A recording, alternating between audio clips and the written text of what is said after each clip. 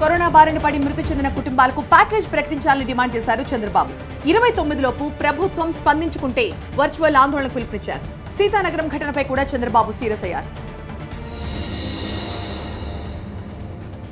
సోకి ఆర్థికంగా నష్టపోయిన ఫ్యామిలీలకు ప్యాకేజీ ప్రకటించి ఆదుకోవాలని డిమాండ్ చేశారు టీడీపీ చీఫ్ చంద్రబాబు. ఎన్నిసార్లు చెప్పినా ప్రభుత్వం స్పందించలేదని మండిపడ్డారాయన వైరస్ బారిన పడ్డ తెల్లకార్డుదారులకు పదివేలు మృతులకు పది లక్షలు ఇవ్వాలన్నారు. ప్రభుత్వంపై ఒత్తిడి పెంచేందుకు ఇరవై తొమ్మిదిన ఉదయం పది గంటల నుంచి వర్చువల్ యాజిటేషన్కు పిలుపునిచ్చింది తెలుగుదేశం. కరోనా బాధితులంతా నిరసనలో పార్టిసిపేట్ చేయాలని టీడీపీ కాలిచ్చింది. పార్టీ ఆఫీసులో జరిగే ధర్నాలో చంద్రబాబు పాల్గొనున్నారు. తెలుగుదేశం సీనియర్ నేతలతో చర్చించిన చంద్రబాబు కీలక నిర్ణయాలు తీసుకోనున్నారు. జాబ్ క్యాలెండర్కు వ్యతిరేకంగా ఉద్యమిస్తున్న నిరుద్యోగులకు బాసటగా నిలవాలని టీడీపీ డెసిషన్ తీసుకుంది. పంట కొనుగోలు చేసి రైతులకు బకాయి పడ్డ మూడు వేల ఆరు వందల కోట్లను వెంటనే విడుదల చేయాలని డిమాండ్ చేశారు చంద్రబాబు. రాష్ట్రంలో ఇష్టారాజ్యంగా చెలరేగిపోతున్న ఇసుక మాఫియాపై చర్యలకు పట్టుపట్టారు. ఉచిత ఇసుక విధానం పునః ప్రారంభించాలని అభిప్రాయపడింది టీడీపీ.